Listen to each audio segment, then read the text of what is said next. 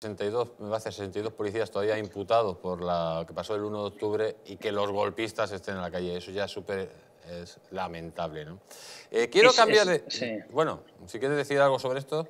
No, no, que eso, eso, es de vergüenza. O sea, eso literalmente es de vergüenza. Yo quiero recordar que los agentes policiales que fueron enviados a Cataluña a hacer eh, que se cumpliera la ley no estaban siendo enviados por ningún partido político, estaban siendo enviados en, en respeto de la legalidad y en respeto del constitucionalismo español y de la aplicación de la Constitución.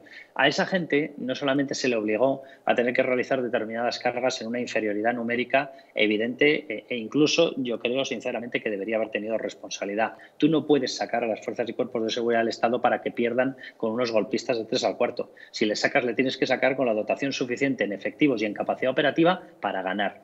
Porque el Estado no puede perder. El Estado, cuando sale a imponer el orden público, tiene que salir para ganar y lo que fue aquello fue una auténtica vergüenza. Se les dejó vendidos a los policías y ya el colmo de los colmos ha sido que directamente se les deje vendidos incluso ante los tribunales. ¿Para qué tenemos unos equipos jurídicos del Estado?